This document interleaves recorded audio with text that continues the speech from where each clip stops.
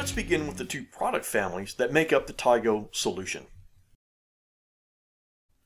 The monitoring group consists of three key components. The TS4 Flex Module Level Power Electronic, or MLPE, that consists of the TS4 O, S, and M. The Tigo Access Point, or TAP, and the Cloud Connect Advanced, or CCA.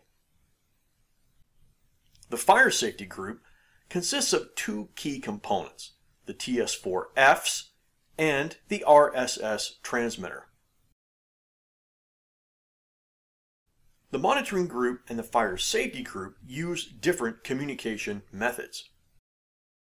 The monitoring group uses wireless communication, and the fire safety group uses power line communication, or PLC.